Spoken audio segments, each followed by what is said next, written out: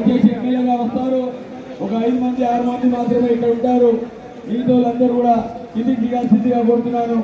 Stage పైన మోతే శ్రీలాత గారు వారికి ప్రత్యేకంగా ఖైరతాబాద్ గణేష్ కమిటీ తరఫున స్వాగతం సుస్వాగతం తెలియజేసుకున్నాము మోతే శ్రీ- శ్రీలత గారికి మరి వారు ఖైరతాబాద్ వినాయకుడిని దర్శించుకున్నారు. మోతే శ్రీలత గారు వినాయకుడి దగ్గరికి వచ్చారు. వారికి ప్రత్యేకంగా ధన్యవాదాలు తెలియజేస్తున్నాము. దయచేసి ఇక్కడ వాలంటీర్లు